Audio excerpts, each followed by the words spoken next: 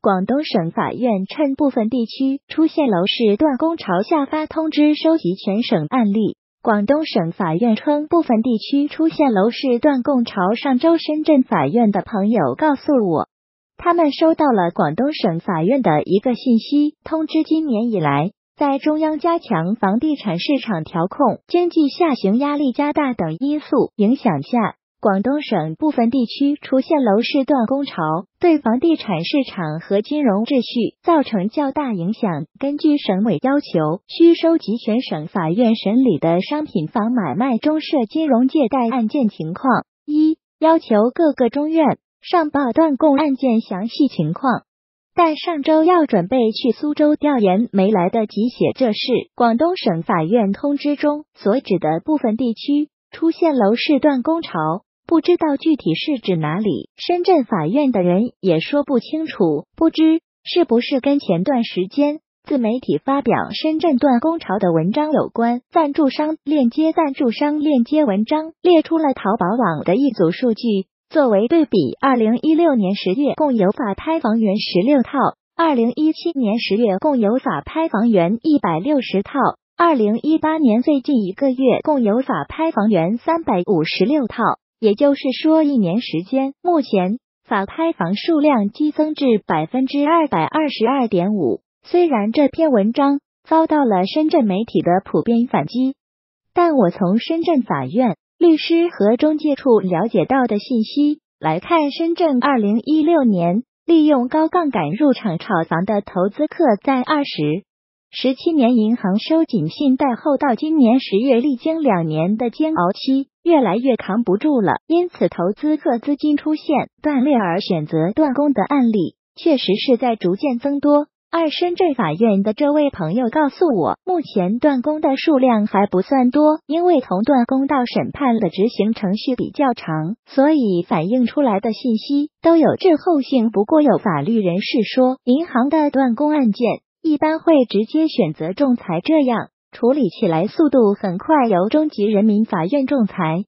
但不需要法院审理，然后直接强制执行拍卖，所以直接看淘宝网上法拍房的数量变化，反而是最能反映实情的。赞助商链接，赞助商链接。深圳房地产专业律师张茂荣也告诉笔者，他昨天刚接到一个前来咨询的案例断供，是因为今年三月份深圳三价合一之前，业主做了高频高贷贷款比例。达到九成三价合一之后，正常贷款的应该不会出现断供。而另一位深圳房地产专业代理律师周征锋告诉笔者，断供案例从二零一六年幺零四新政以后就有了，他去年、今年都有代理，今年增加更多。目前他手头还有几个这样的案子。二零一六年新政后，深圳房价保持平稳，特别是龙岗中心区和罗湖，实际上并没有升值。当时如果做了高杠杆的投资客，现在就是亏。周律师接触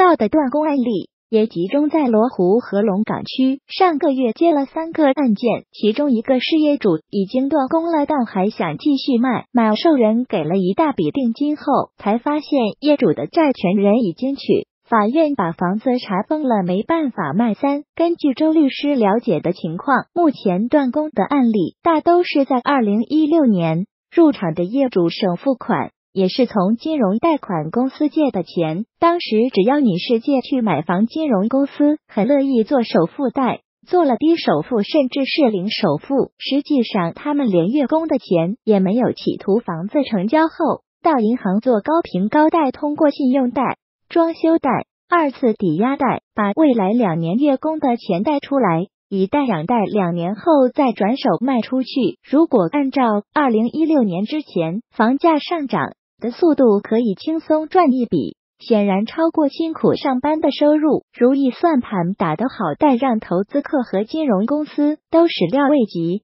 的是，银行在二零一七年开始收紧贷款，严格审核贷款流程和客户资质，严厉打击。消费贷款流入房地产市场，投资客的月供资金开始出现断流，政策收紧后，很多投资客房子卖了没钱赚，干脆就选择断供了。反正首期款也是借的，自己没出多少钱，就等着银行起诉他吧。周律师说，金融贷款公司一开始还帮投资客垫资还月供贷，后来实在没办法也放弃了，只能起诉业主查封房产，因为首先要收回垫资款。目前断供的除了首付贷外，还有一种叫套路贷，但这种从一开始买卖就是个圈套，比如 A 跟 B 一起买套房。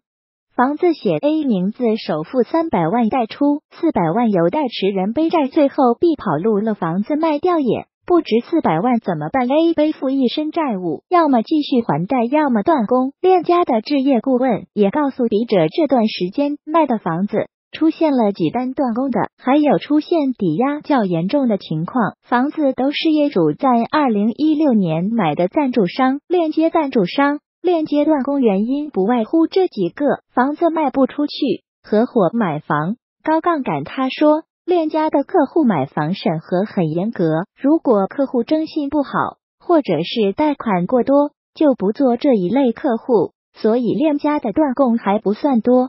但是其他的中介公司就相对比较多了。四其实深圳的法拍房增长速度相对还算少的，大家可以去淘宝网上看看，江苏和浙江的法拍房增速远比广东要多。利用高杠杆投资炒房的，往往会在银行收紧贷款时期很受伤。央行在中国金融稳定报告中就谈到了短期消费贷款。为什么会在二零一七年异常增长？除了一个原因是在整体利差处于低位的情况下，银行有动力投放收益更高的消费信贷；另一个原因在于近年来购房开支骤增透。支了部分居民的消费能力，使其转向利用短期消费贷款维持消费水平。最后，部分购房者利用消费贷等产品规避首付比的限制。这一现象的出现，部分原因在于二零一六年下半年以来，银行逐渐收紧房贷授信，部分购房者利用短期消费贷款等渠道违规加杠杆，绕过首付比例限制。从而可能导致大量短期消费贷款流入房地产市场，助长了房地产市场投机行为，房价过快上涨问题更为突出。加杠杆时忘乎所以，去杠杆时就要伤筋动骨了。